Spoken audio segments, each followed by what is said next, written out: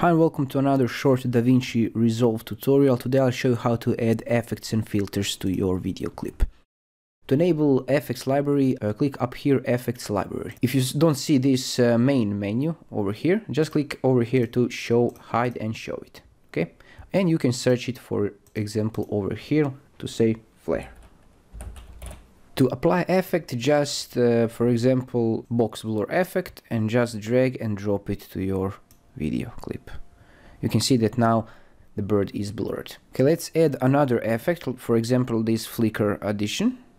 Just hover and apply it. If I click play, you will see the, that the clip is blurred and it has this flicker effect on it. Click on your clip and up here, if you don't see this, click on inspector and you will see effects over here. Click on effects and you will see that we have box blur and flicker addition effect.